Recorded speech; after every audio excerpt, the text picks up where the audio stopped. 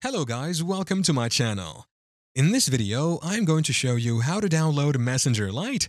It is a fast and easy tutorial, so let's dive into it. Open your Play Store. Once in, tap the search icon. Here, type in Messenger Lite. You will immediately notice that the Messenger Lite app is not available.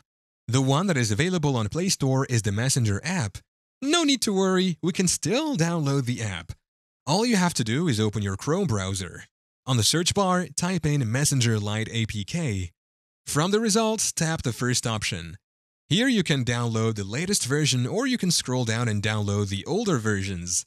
Older versions are for those whose phone is not compatible with the latest version, so if your phone is compatible with the latest version, then download the latest version. If not, then download the older version. Once downloaded, just install the app.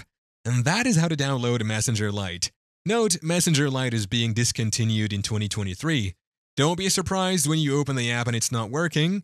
If it is not working, just go to your Play Store and install the Messenger app itself. Thank you for watching. If this video was helpful, please leave a like and subscribe to my channel for more videos like this. And click on that notification bell to never miss an update.